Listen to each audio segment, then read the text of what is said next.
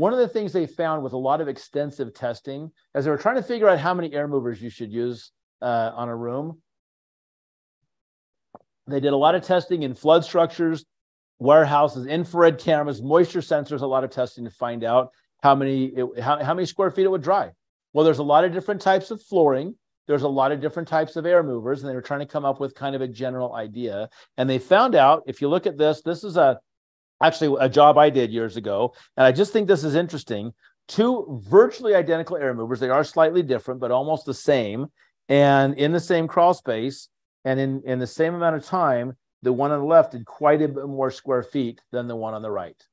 You know, this looks like um like 70 square feet and like 50 square feet. I don't know if that's what it is, but those are the numbers we're going to use. So it makes it sound good. But you can see visually that different air movers will do different amounts. And that's what they found out was as they were training, uh, doing their testing, that one air mover, uh, the average for all the types of air movers and all the types of flooring, the average was one air mover would do somewhere between 50 and 70 square feet. So when we're doing our floor, that's the range that we get. And so the air mover calculations are by the room, not by the drying chamber like our dehumidifier is going to be. These are by each individual room. We calculate separately for how many air movers it gets. And I'm going to go through those calculations here in just a moment. But I want you to keep in mind that it's always going to be a range. It's never going to be that room. Well, I shouldn't say never. I'll tell you why in a minute. It's not going to be that room gets 13 air movers. It's that room gets between nine and 13 air movers, or six and eight, or 22 and you know 32, or whatever it is. And so one way to kind of visualize that is if you were going to paint the inside of your house, you'd measure up all the square feet of the surfaces you want to paint, all your walls and ceiling. You go to the paint store, you pick up a gallon of paint. Now, I'm not a painter, so I don't know what the numbers actually are. I'm just making this up. But you look at the back of the paint can, it does not say this gallon of paint will paint 427 square feet because they have no idea what you're painting. Are you painting raw wood that's going to suck it up? Is it something that's already primed? Are you going to roll it? Are you going to spray it? Are you going to brush it? There's so many factors of how and what you're going to paint that the can of paint will say something like this gallon of paint will do between four and 500 square feet. On average, with all the different ways people paint, that's about what you can expect. So I go, okay, so I take the total square feet of what I'm going to paint. I would divide by 400 and by 500. And that says, okay, you need for your house between nine and 12 gallons of paint. It's a range. It's not going to be exact because every job's different. So I'm going to say, okay, I buy nine gallons of paint. I go home and paint, paint, paint, paint, paint. And maybe that does it. If it doesn't, I go back and buy another one. If that doesn't, I go buy another one. But I can expect that it's going to be between about nine and 12 gallons based on that average. Same thing for us. We go in and say for the floor, here's the total square foot of wet floor. I'm going to divide it by 50 and by 70. And that's the range of air movers that I get for that floor. A little bit different for walls and ceiling. But I want to kind of get that in your head. It's, it's going to be a range between the low range and the high range as we go through it. The S500 tells us air movers should be set up to provide continuous airflow across all affected wet surfaces, floors, walls, ceilings, and framing until they're dry, until the meter says they're dry. The number of air movers needed can vary between projects depending upon the build out density, obstructions to airflow, the amount and type of wet affected materials. There's a lot of factors in there. That's why it's going to be a range. And you figure out within that range how many you need for that actual job. The number of air movers needed can vary. And so here's the calculations. I go in, it's by the room. I do this for each room that I'm working on. Because it's a room, it starts with one air mover. Okay, so I'm going to have a low range and a high range. They both start with one and I work my way down on the chart. In addition to that, I get one air mover for every 50 to 70 square feet of wet affected floor. So I say, okay, I measure the total square feet of what's wet. I take that number, I divide it by 50 and by 70, and that's the range of what I get for the floor because that's the average they found out that air movers would do on floors. In addition to that, I get another air mover for every 100 to 150 square feet of wet ceiling and walls above two feet. Two things I want to point out there. Air movers trying to dry drywall is more effective than a plywood subfloor. So I get less of them. Instead of one for every 50 to 70, I get one for every 100 and one to 150. I combine my walls and ceilings together, do the square footage, and divide by 100 and 150. But this is another important aspect right here um, above two feet. I'm working on drying my floor. So I'm going to put my air mover against the wall right here. And the reason I do that at about a 45 degree angle is it's going to hit the wall and it's going to come out and pick up my 50 to 70 square feet of floor. So I actually put it around the perimeter of the room to start the drying process on the floor. And then in the middle of the floor where I don't have airflow, you know, as far as it comes out where there's no airflow, I'm going to put other air movers out there going across the middle, or maybe some of these axial fans, like this one right here. You can get it on a stand, so it's pointing right down to the floor and moving it out that direction. But if I have an air mover right here that's hitting the wall and bouncing out and drying up this 50 to 70 square feet of floor, they also found out that it's hitting the wall and going up. And on average, was drying about two feet of the wall. So they said, we're going to let you calculate and give air movers for the floor. But when you're doing the walls and ceiling, you don't get to add that two feet in again because it's getting dried with the air movers you've got for the floor. So when you calculate the walls and ceiling, you have to remove that bottom two feet and act like it's not there. So if this wall was wet four feet up, I would only count the top two feet of my square footage. If this was a 10 foot tall wall and it was wet, if it's a 10 foot tall wall, I'd only count the top eight feet and the bottom two feet. Ne- this never gets added in anywhere. It's always just free with the floor.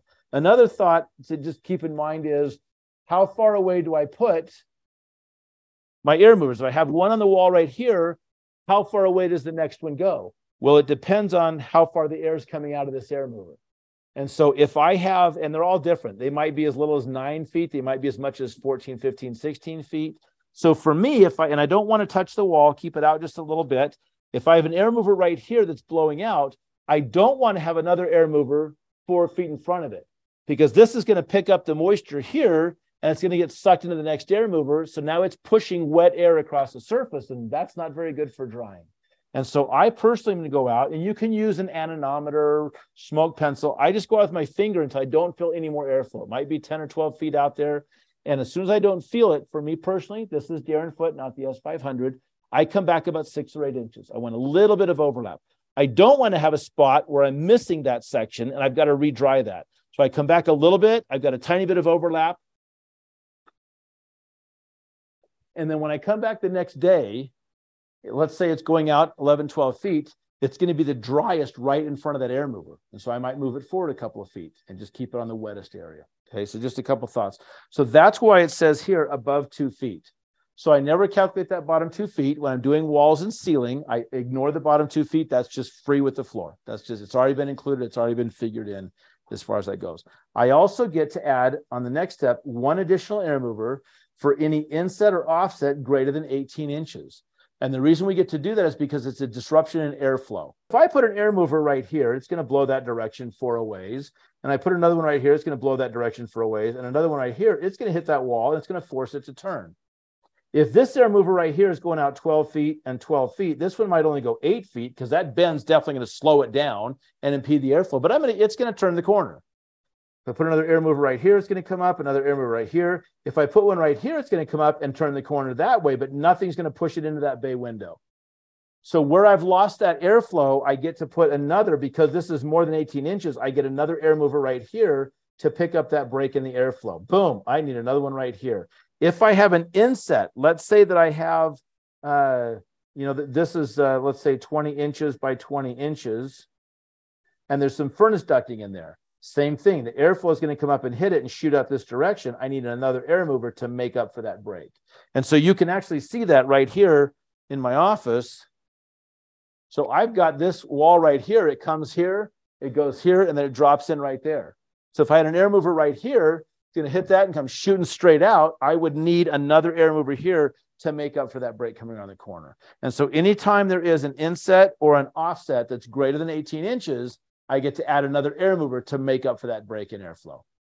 And that's so that is my calculation. Now I want to show right here when it says 50 to 70, 100 to 150, what it's saying is you calculate as if one air mover could do 50 square feet, and again as if it could do 70 square feet. That's what I'm saying is, you know, I'm, I'm calculating two ways, as if it could do this or as if it could do that. This is also important. Always round up, you don't round off. So if I do the math and it says you get 14.7 air movers, that's 15 air movers. If it says 14.1 air movers, that's 15 air movers. It says this is the minimum, so you always round up. Now I don't get into double decimals, right? It's like, oh, it's 14.000036 air movers. I get to put another. No, no, no. That's not, I think that's overkill. So I just go one decimal, even though it doesn't say in there how far you go with that. All right. So I want to kind of give you a visual on what I'm talking about. So here's my room. And I made this intentionally 10 by 35 for a reason, so I can show what it is. So because of that, because it's 10 by 35, if it's 10 feet this direction and five feet that direction, that's 50 square feet.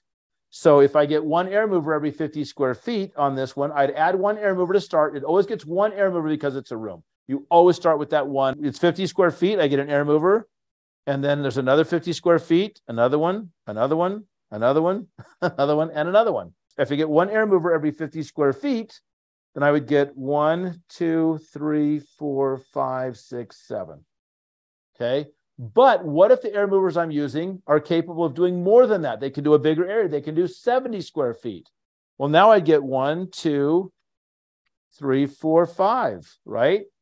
One, two, three, four, five. And so I get five if I could do 70 square feet. If it would do 50 square feet, I got seven. So for that floor, I get five to seven air movers. So that's what we're talking about is different air movers do different amounts. So you calculate as if it would do 50 square feet, and then you calculate again as if your air movers were capable of doing 70 square feet.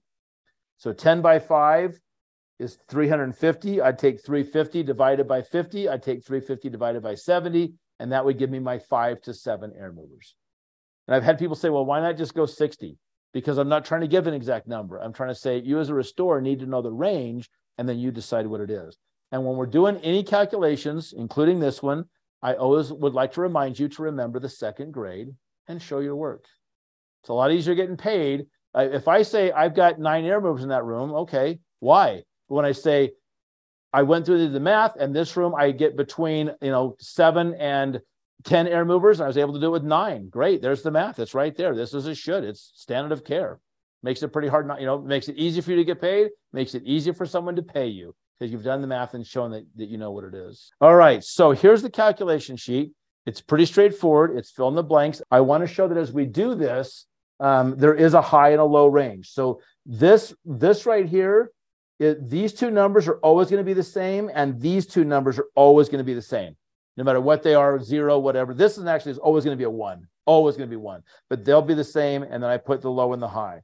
And so the way it works is We'll run through this together. Here's my scenario. I have a room. It's 14 by 16. It has a 10 foot ceiling. And I want, and it's 100% affected. Everything in there is wet. And I'm trying to figure out how many air movers, the range of air movers I get. Step number one, if I read it says install one air mover in each affected room, add this quantity to both high and low range. Here's the low, here's the high range. And so I put a one in both those boxes. Those two boxes always, every time, are going to be a number one, both of them. We actually talked about printing the number one in there. I don't remember why we didn't, but that's always going to be one. Okay, so I'm step I'm done with step number one. I'm on to step number two. Step number two says add one air mover for every 50 to 70 square feet, as if 50, as if 70. Uh, this includes floors and lower walls up approximately two feet, but only use the total floor footage, exclude the walls. That's what it's going to drive. You're not counting the walls. So I say, okay, uh, my, my floor is 14 by 16 that is 224 square feet. So I put 224 in both of these boxes. I divide it by 70. That's going to give me 3.2. I round up to 4. It says low range. This says low range. So I put the 4 right there. 224 again divided by 50 is 4.4. If it does less area, I need more air movers. I round that up to 5. This says high range. This says high range. I put my 5 right there. So for this room, I would get four to five air movers to dry my floor. Okay, done with step number two. Let's move on to step number three. This is a little convoluted, so bear with me here. Uh, walls and ceiling above two feet. Okay, so my ceiling is 14 by 16. It's 224 square feet. I could say on my walls 14 plus 16 plus 14 plus 16 times the height. I'm doing each one individually just to show what we're talking about. So I'm going to say, okay, I'm excluding the bottom two feet. Remember, I don't cover the bottom two feet. It's a 10 foot high ceiling. My walls are 10 feet tall, but I'm only going eight feet tall on each one of them because the bottom two feet I'm not counting in there. All right. I have a wall right here that is 14 feet long and it's 10 feet tall, but I'm only cutting the bottom, the top eight feet. So 14 by 12 is 112. I have another 14 foot wall right here. So 14 by 8 is another 112. I have a 16 foot wall right here. That's 16 by 8 is 128. Another 16 foot wall right here, another 128.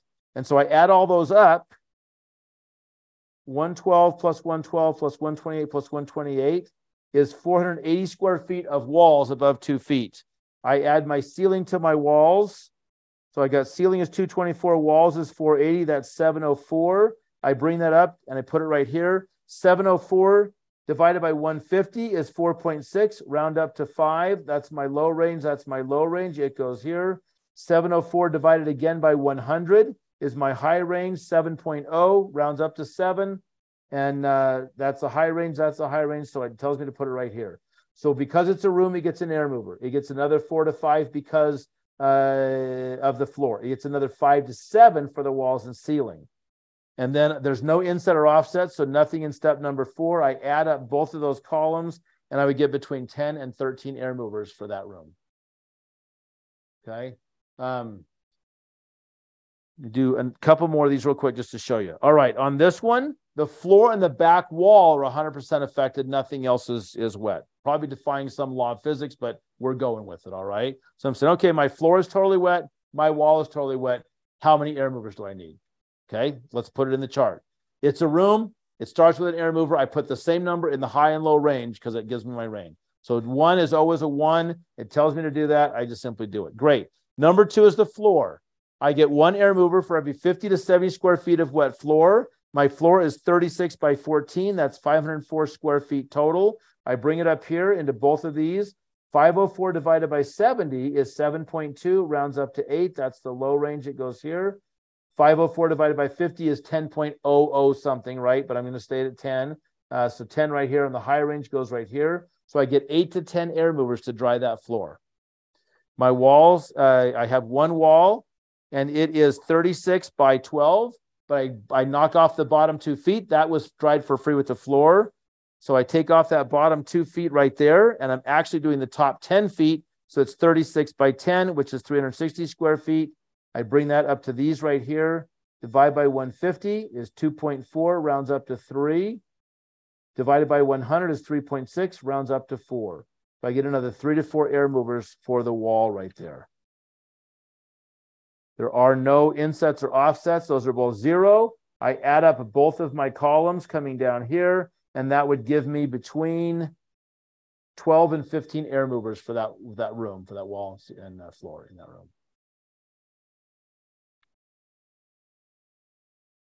Now, there is another calculation I want you to be aware of.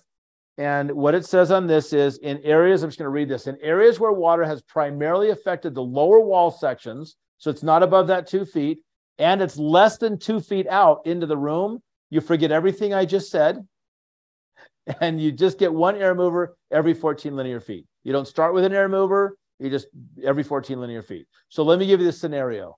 I this room right here, water came from above, walls, floor, ceiling, everything is soaking wet. I'm going to say, okay, this room, I'm going to start with an air mover because it's a room. I'm going to add another air mover for every 50 to 70 square feet of wet floor. I'm going to add another air mover for every 100 to 150 square feet of wet walls and ceiling above two feet. The water went underneath this wall into a hallway. It went out 22 inches, seven inches, whatever, less than 24 inches, and it went down 63 feet. I simply take the 63 feet, I divide by 14. I get one air mover. They're, they're saying on average, you get an air mover will do 14 feet. So you get one air mover every 14 feet. You divide that out and round up and that's what you get on that. Okay. So the way you'd put that into, into effect is if I've got this floor right here, as you see at the top, it's less than two feet into the room. It's 67 linear feet long. I'd simply say, okay, it tells me at the bottom, this is not in the chart, at the bottom it says one air mover every 14 linear feet. So 67 feet divided by 14, 4.7 rounds up to five air movers. Okay. And it's one or the other. You don't use this. It's not like, well, this wall came all the way in, but that one's only two feet. It's one or the other in every room. It's either less than two feet and you do this, or you do the other full ones.